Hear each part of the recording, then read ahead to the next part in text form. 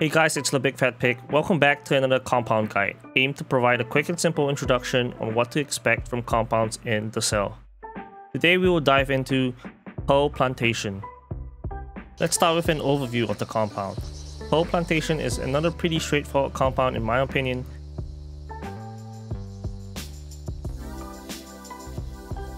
It has a rather large boss arena with several houses to the west side and a hedge maze next to it.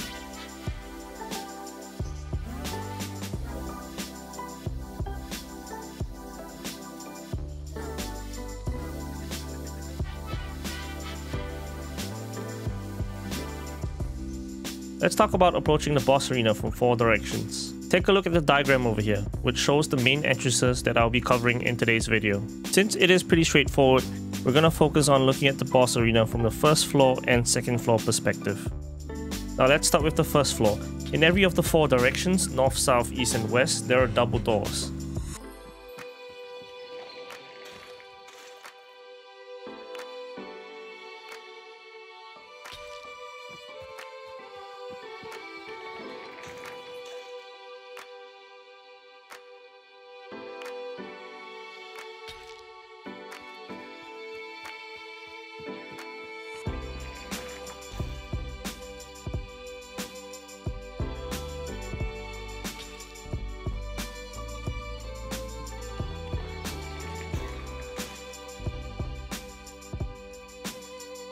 With the exception of the southwest side, there are two windows which can be vaulted through. Some of the windows, although unbreakable, can still show a silhouette of the interior boss arena.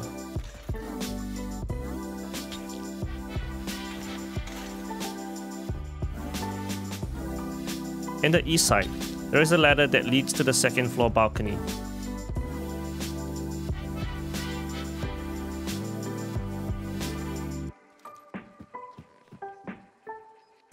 On the north side, there is a ramp that leads to the second floor balcony.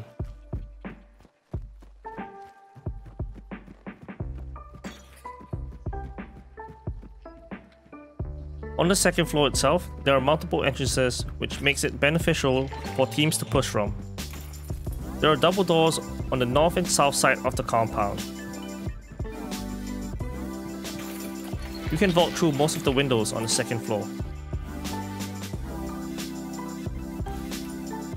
Since it's almost impossible to trap up all the windows and entrances on the second floor, and I mean in this compound, I'm just gonna show you what I feel are possible places that you can take some peeks from and maybe get snag a couple of kills. So firstly this one in the corner over here. Both are in similar corners. But I think this corner over here is pretty pretty pretty safe. Well not really safe, but you know what I mean. So you can take some peeks over here. There often there are teams fighting on the outs outskirts of the wall over here. So you can take some peeks here, the hole in the wall, you know, and then you can always also hop back in at any moment, and you can have decent cover here. And also, uh, next up in this corner over here, Similarly, uh, this corner here, I, I would say is pretty safe. If you crouch here,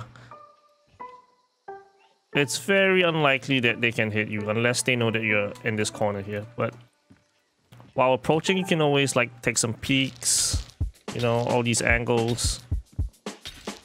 All pretty viable while still being able to dip behind to be in cover. Like, I think this is metal, right? Yeah, this is metal, so pretty safe. And you can always, again, pop back in, come out, peek, run around. Over here, you can take some angles as well. You kind of have a angle to the maze. Is this the maze? Yeah, this is the maze, yeah. Stack some kills, run back in. And that's about it. This is a pretty simple compound, I would say. So the main issue with this compound is that the second floor, you're pretty vulnerable to all the windows and like balcony basically. So you do want to keep that in mind. Um, but if you decide to hold on the first floor, which like most of the windows are all barred up, you can't really, they can't really get in besides some of the exceptions. you can mainly focus on the doors, right? But then you have the issue of the second floor where uh, they would reach in and push down from from the top. So you could try to focus uh, on holding the first floor and anticipating that they'll be pushing from the top while you keep everything on the entrances like trapped. Or you could take a risk and take the second floor and trap up the stairs.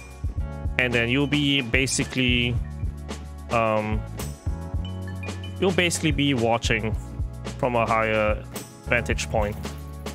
But it also has its risk as there are many windows that they can pop in. So yeah, there are many ways you can hold this compound. The interior is huge, so that's also another issue. Like, it's not like you can just rush in and like clear the whole compound in like 10 seconds, you know? It's it's pretty big and open. People are gonna be hiding in corners with shotguns. They literally can just, I mean, can literally just hide in corners hide behind like furniture like this, you know. Yeah, keep that in mind. So yeah, that's it for this compound. Um, it's really one of the more straightforward compounds, in my opinion. There are still uh, many, many ways that attackers can push into the compound, which is good. So people can't just barricade themselves inside. But yeah, thank you for watching this video. I hope uh, it was helpful. Let me know if I missed out any details that you think are important. Um, I'll see you next time.